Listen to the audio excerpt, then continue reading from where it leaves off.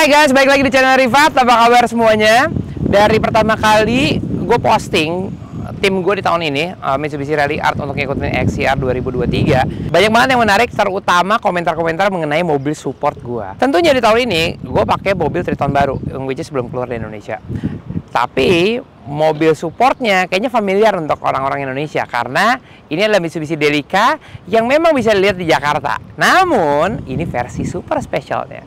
Desain Delica yang ini adalah pembaruan dari versi Delica yang ada di Indonesia.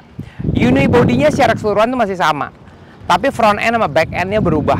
Berubahnya berubah total. Di generasi Delica ini udah menggunakan dynamic shield jadi dynamic shieldnya itu kalau dilihatnya kayak expander tapi ini lebih ditinggi-tinggiin karena mobilnya boxy dan tinggi. Terus untuk ini yang di depan, ini headlampnya kemarin gue nyetir mobil ini malam terangnya minta ampun lampunya karena memang ya desainnya ekstra besar.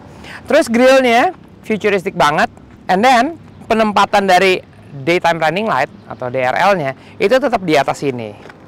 Nah yang menarik kalau diperhatiin dynamic shield baru uh, Mitsubishi X-Force, kemudian Triton baru, Delica baru, itu fog lampnya kecil-kecil dan fog lampnya itu posisinya ada di bawah sini. Jadi front end-nya totally is fresh new look. Jadi Delica yang tipe D5 ini spesifikasinya memang beda yang sama yang ada di Indonesia. Mobilnya lebih tinggi, kemudian dia 4x4. Delica diciptakan hanya setir kanan dan melihat pasar yang ada di Jepang, Kenapa diciptakan 4x4? Karena ini akan menjadi mobil petualangan keluarga. Banyak banget dipakai untuk uh, liburan ke gunung-gunung es. Jadi makanya mobil ini diciptakan 4x4. Terus untuk yang versi ini, yang versi ini, ini kan full livery Rally Art 2023. Dia udah menggunakan bannya Geolander. Jadi peleknya udah diganti work, terus bannya diganti uh, Geolander. Ukuran bannya nggak gede.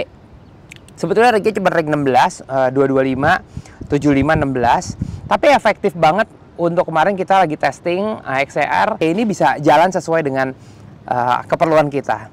Terus yang merah-merah ini, kepet-kepet ini, ini tuh aksesoris aslinya dari Mitsubishi. Yang menarik, mesinnya diesel. 2200 cc, 145 horsepower, 380 Nm di 2000 rpm. Jadi di Jepangnya mobil Delica 1 ini sering banget dipakai untuk demo tanjakan yang sampai tegak berdiri dan ini adalah kekuatan dari Mitsubishi Delica D5. Nah untuk keluarnya lagi ini aksesoris-aksesoris asli dari Mitsubishi. Di sini ada tulisannya Delica uh, D5 karena Delica ada beberapa ukuran D5 ada D3 dan penempatan lampu-lampu ini depan atas itu ya melambangkan kalau adventurous sekali. Untuk bagian belakangnya, refreshment yang diadakan sebetulnya tidak semasif yang ada di depan. Kalau ngeliat secara keseluruhan dengan Delica yang versi sebelumnya yang ada di Indonesia itu mirip-mirip aja, tapi dia udah pakai LED light. Nah tangga ini, ini juga aksesoris aslinya. Dia berfungsi untuk ambil barang di atas dan ini jadi inspirasi mobil service car saya yang baru saya bangun di Indonesia untuk project berikutnya. Dalamnya kayak apa? Karena dalamnya refreshment total juga, dashboard total beda, dan seperti apa kita masuk kayak ke dalam. Melihat gini aja baru buka pintu, dashboardnya 100% beda. It's a new dashboard. Terus versi lainnya lagi adalah ini udah electric seat. Kalau di Indonesia belum electric seat. Sekarang gue masuk ke dalam ya. Masuk ke dalam, bisa dilihat panasnya luar biasa di Thailand. Start stop buttonnya udah diganti nih sama Rally Art dan start engine nggak apa-apa ya permisi ya gue sambil nyalain AC ya karena panasnya minta ampun di sini. Dan dashboardnya pun looknya baru. Nah di sini perubahan signifikan dari teknologi yang ada di Mitsubishi Delica yang baru ini adalah pertama setirnya jauh lebih enteng Kedua adalah look dashboardnya, clusternya semua huruf-hurufnya baru, informasi displaynya juga udah um, colorful, nggak seperti yang sebelumnya monoton. Posisi tongkat perselingnya mirip-mirip, kalau yang lama ya dashboardnya bentuknya agak mirip dikit tapi beda lah. Miripnya adalah dia tetap boxy, cuman yang baru ini miring. Pencetakan AC masih sesuai dengan Mitsubishi-Mitsubishi yang lain. Nah, yang menarik adalah ini. Ada pencetakan two wheel drive, four wheel drive, and four wheel drive lock. Ini adalah kekuatan utama dari si Delica yang kita lagi review sekarang. Untuk kualitas bangun mobilnya sendiri, Nah, gue rasa ini premium uh, MPV karena udah pakai kayu, terus ini bukan dashboard bohongan karena ini empuk, uh, semuanya soft touch, tuh bukan cuma plastik. Nah sayangnya mobil ini nggak ada audionya karena memang keperluannya adalah untuk service car.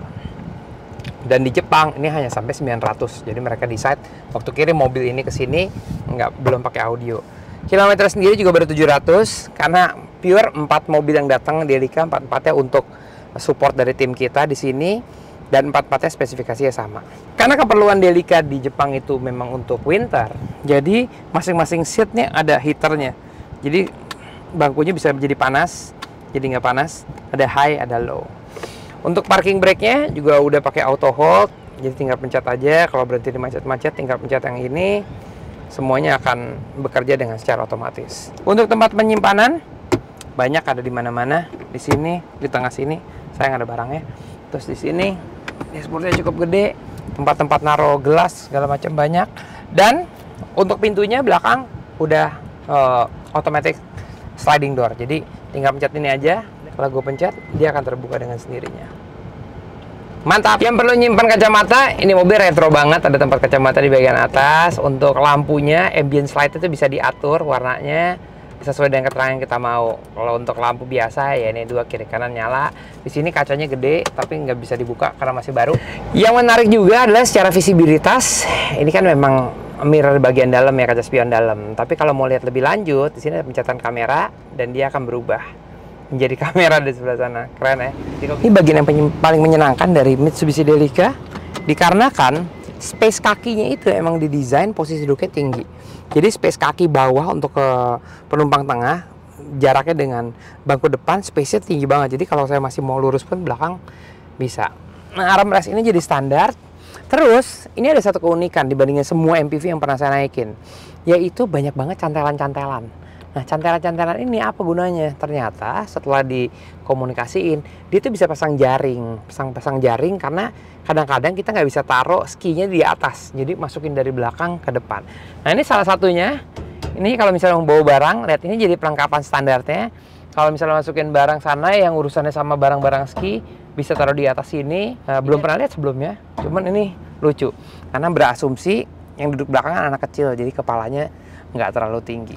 Nah untuk di malam hari supaya suasana kabinnya juga lebih romantis, di sini udah pakai ambient light. Jadi generasi Delica yang ada di Indonesia belum. Di sini sebetulnya nyala ambient light warnanya merah di sela-sela ini semuanya ada jadi menambah kesan romantis. Sekarang waktunya kita coba jalan. Gue sendiri juga penasaran. Soalnya mesinnya enak banget kalau lagi duduk di dalam, tarikannya luar biasa hebat, smooth, super smooth. Tapi memang bannya karena pakai ban MT, jadi noise-nya emang agak tinggi cuman ya udah. Kita coba jalan sekarang. Duh enak banget nih mobil sih. Baru juga duduk sebentar.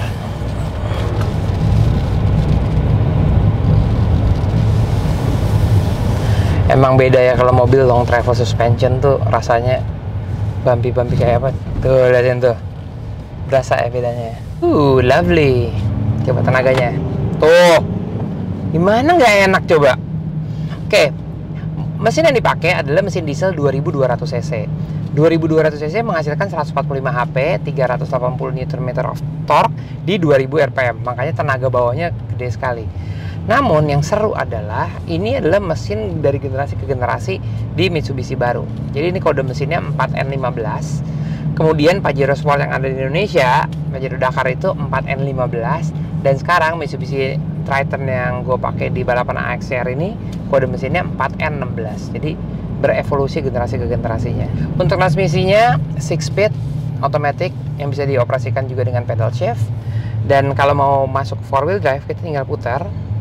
Dan di situ langsung masukkan tulisannya 4 wheel drive auto. Untuk keadaan yang lebih berat harus ditaruh di lock tapi kalau lock pasti nggak mau sambil jalan begini. Harus berhenti dulu dan itu harus melewatin medan yang lebih berat Secara keseluruhan mobil ini huge improvement dari Delica generasi sebelumnya. Memang noise yang masuk ini ya karena kita pakai ban MT, cuman somehow gue pingin banget ini mobil. Kombinasinya keren. Kombinasinya eksklusifnya dapat, habis itu adventure-nya dapat, practicalnya dapat, looknya dapat, and then tenaganya dapat juga. So it's a all round product in one car. Bisa bisa di Delica D5. Sekarang gue sekalian balik ke markas besar service area.